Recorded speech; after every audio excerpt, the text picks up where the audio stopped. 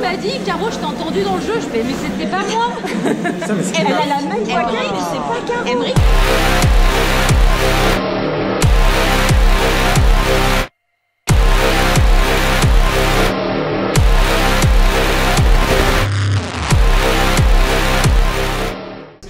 Ah, pour moi, c'est mon premier euh, vrai escape game. hein. En tout cas, en salle, comme ça, euh, c'est une première expérience. T'en avais fait, toi? Euh, non, moi j'en ai déjà fait plusieurs. Ah, déjà fait euh, plusieurs. si, si, j'en ai Des déjà fait. tout, tout, tout, tout. Oui, alors celle-là, elle est pas terrible.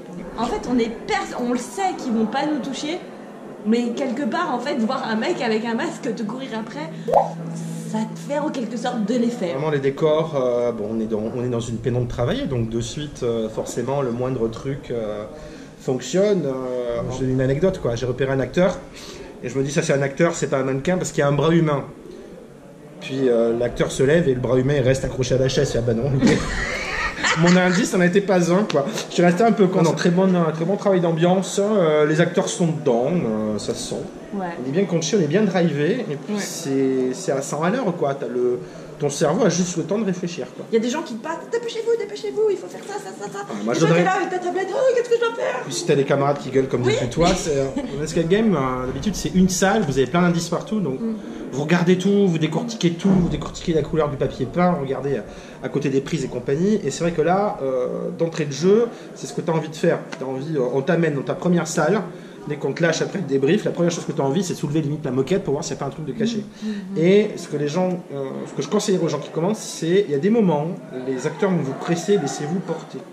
Parce qu'on a voulu lutter, on a voulu lutter en vain contre ça. Et euh, il y a des moments où on est là pour courir un peu, d'avoir peur, et d'autres moments qui sont bien placés où il faut chercher. Il y a le truc des missions individuelles aussi, parce que globalement, il se passe des trucs en même c'est- temps. ouais, en fait. pour moi, c'est pas vraiment. Pour moi, c'est entre l'escape et la murder, quoi. La murder party, c'est-à-dire que tu as c'est chacun ça, un C'est rôle. plus une murder party qu'un escape. Oui, en fait, parce que globalement, t'es vachement aidé. Tu peux le jouer tu, tu le joues roleplay quoi.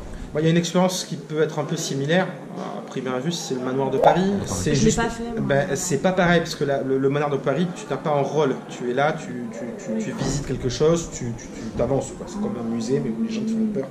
Alors que là, tu es actif parce que tu as un rôle de. Bah, tu as les recherches Skype, euh, Skype Game classique, quoi. Genre, tu as les énigmes à faire. Mais tu as aussi un rôle individuel. J'en ai déjà fait, mais genre dans le salon de chez quelqu'un, euh, en- enfin on m'a fait, on m'a fait essayer un truc avec des zombies effectivement, mais là, euh, là en fait le fait de pouvoir bouger et d'avoir d'autres gens, euh, c'est hyper impressionnant. La version visuelle, du coup, euh, elle a vachement bien fonctionné. Quoi.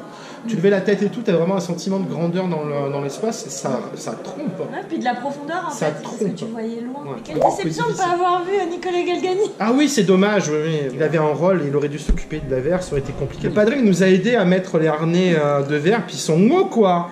T'imagines toi, Nicolas Galgani? Je vais vous aider. Allez à Jacques Est. Pour ceux qui sont euh, déçus des Escape Games, il y a trois stickers euh, dans un, euh, dans un bâtiment à la défense. ouais, c'est vachement Oui. bien. Et il faut jouer le jeu, faut rien dire, parce que du coup, c'est Ouais. dans- ça- ça- tu sais pas où tu vas, et c'est beaucoup plus intéressant.